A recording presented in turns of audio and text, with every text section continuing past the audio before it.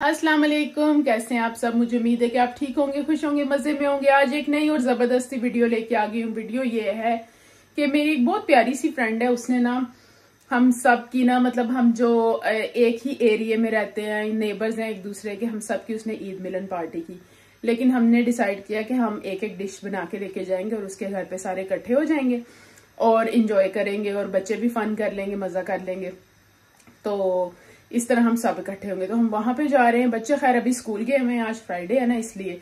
तो बच्चे वीकेंड पे इसलिए रखी है कि फिर कल ये टेंशन नहीं होगी कि बच्चों को स्कूल भेजना है या रात में लेट हो रहे हैं। तो मेरे हिस्से आए दही भल्ले। तो मैं दही भल्ले बना रही थी। मैंने सोचा आपको भी साथ साथ दिखाती हूँ और अपने साथ साथ रखती हूँ। और फिर शाम में जब रेडी होके जाएँगे तो भी आपको अपने साथ साथ रखूँगी। तो मेरी वीडियो को आपने एंड तक देखना है।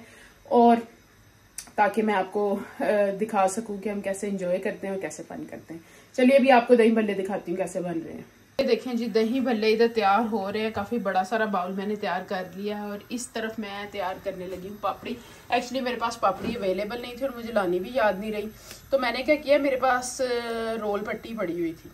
तो मैंने सोचा कि इसी को यूज़ करते हैं तो इसको मैं यूज़ कर रही हूँ उसको फ्राई कर लूँगी और इसको साथ ले जाऊँगी, ऊपर नहीं डालूँगी। तो जब हम सर्व करने लगेंगे ना, उस वक्त बस इसके ऊपर डाल देंगे। इसको ब्रेक करके ना, फिर साथ ले जाऊँगी। तो ये ऑयल गर्म हो गया, इसमें डालती हूँ। ये देखें जी, मैंने दही भल्ले बना लिए हैं और फ्रिज में रखे हैं ना, जिसकी वजह से इसके ऊपर स्टीम आ गई है। लें जी, दही भल्ले बना के मैं फारिग हुई थी तो आप सारों को इंतज़ार होगा कि घर में क्या काम काज चल रहे हैं तो मैंने सोचा आपको भी अपडेट्स देती हूँ। तो चलिए आपको लेके जाती हूँ अपने घर में और आपको दिखाती हूँ कि वहाँ पे क्या क्या काम हो रहे हैं अभी। तो अपडेट्स देती हूँ आपको। आ जाए, चलते हैं। लें जी, इधर हम घर में पहुँच चुके हैं और यहाँ पे थोड़ा सा कंस्ट्रक्शन का काम हो रहा है, इस वजह से बिल्डर इधर आए हुए हैं और काम कर रहे हैं और ये लोग अपने काम में बड़े प्रोफेशनल थे।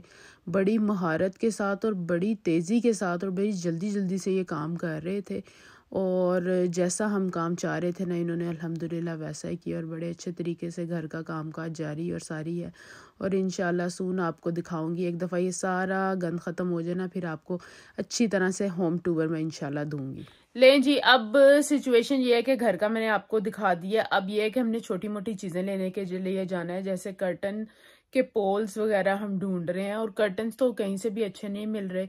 तो मैंने सोचा कि बी एन एम पे चलते हैं, वहाँ पे काफ़ी अच्छी वैरायटी होती है। तो चलें, आपको भी लेके जाती हूँ और दिखाती हूँ कि क्या क्या चीज़ें मिलती हैं। आज फिर चलते हैं।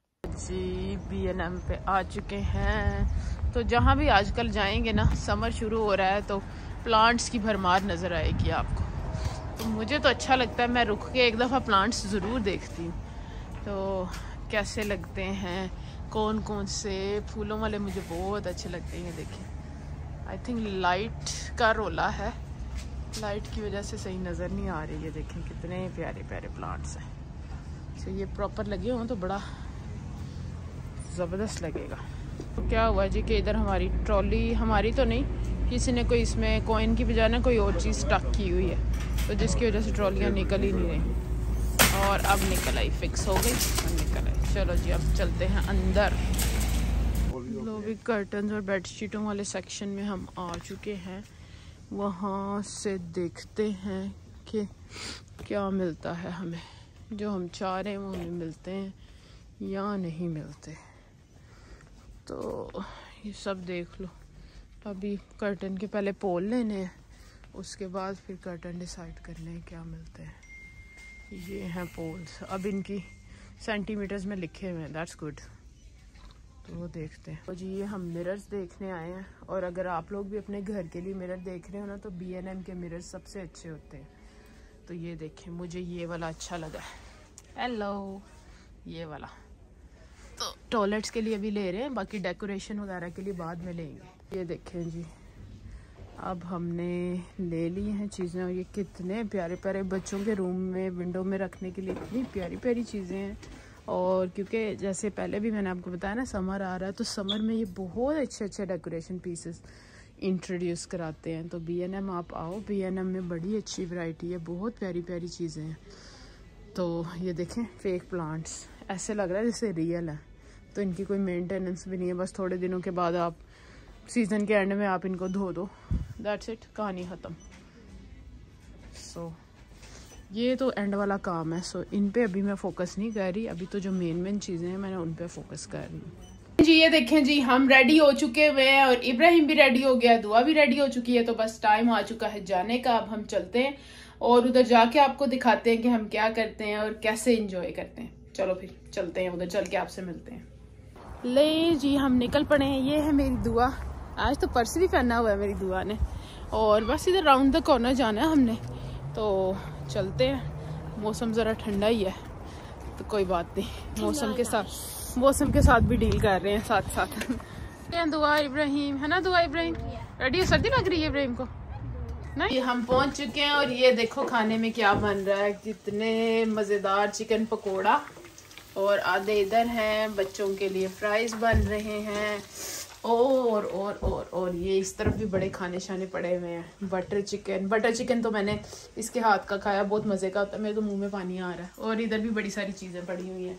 बिरयानी, यम्मी बिरयानी, ये देखो भाई, क्या बात है, माशाल्लाह। तो फुल दावत वाला माहौल बना हुआ है। और अभी पकेगा तो फिर इसको इंजॉय करेंगे।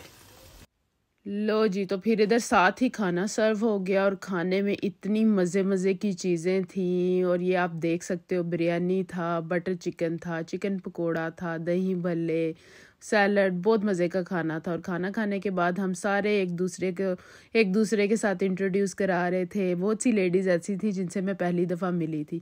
तो बड़ा मज़ा आया, बड़ा इन्जॉय किया हमने। समटाइम्स ऐसा होता है ना कि जो लोग होते हैं, आप उनको जानते नहीं हो, लेकिन जब जानते हो तो आपको अच्छा लगता है। तो वैसे इधर भी ऐसे ही चल रहा था। एक दूसरे के साथ बातचीत हो रही थी, एक दूसरे को जान रहे थे। और बच्चे बड़ा इन्जॉय कर रहे थे। बच्चों ने तो पूरी मच्छी मंडी खोली हुई थी। आते थे, जाते थे, कभी खाना खा रहे थे, कभी स्वीटें खा रहे थे। बच्चों की प्रॉपर ईद वाली पार्टी हो रही थी। बच्चों ने जिस कदर इंजॉय किया ना, मैं इसके बाद सोच रही थी कि इस तरह की गेट टुगेदर स्पेशली हमें बच्चों के लिए तो लाजमी अरेंज करनी चाहिए, क्योंकि उनको चांस मिलता है एक दूसरे को मिलने का और एक दूसरे के साथ खेलने का और एक दूसरे के साथ टाइम स्पेंड करने का। फिर ये केक आ गया तो ये देखें, किसी का हाथ भी आया है केक पे। तो बस बच्चों ने केक खाया इंजॉय किया मीठे में साथ मतंजन था। लेकिन बच्चों ने तो फोकस किया केक के ऊपर ही और केक एंजॉय किया। पार्टी हो गई फिनिश सारे जा रहे हैं अपने अपने घर में। और दुआ जोहा बहुत हैप्पी है। बहुत हैप्पी और पार्टी फिनिश हो गई और एंजॉय कर रही है और हंसती हंसती पार्टी बैग्स भी मिले हैं? क्या बात है।